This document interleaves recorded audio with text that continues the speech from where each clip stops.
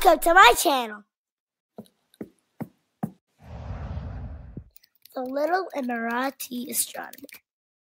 Hello everyone. Today we'll be talking about our star, the Sun. The Sun is the biggest, most hottest object that lies in the center of our solar system.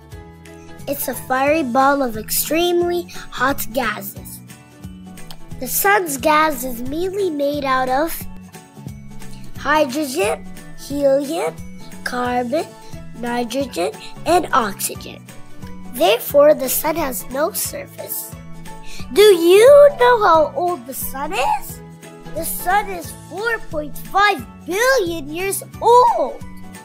The sun is so big that you can fit over 1 million Earths inside it.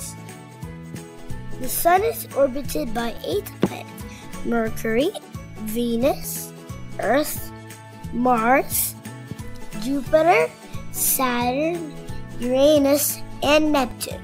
The Sun holds 99.8% of the solar system's mass. It transmits heat and light energy to its orbiting planets.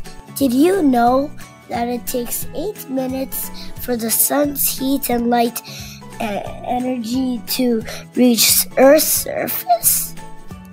There's far more to discover about this wondrous star.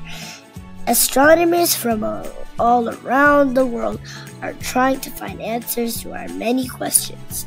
But until then, we continue to be curious little astronomers. Thank you for watching.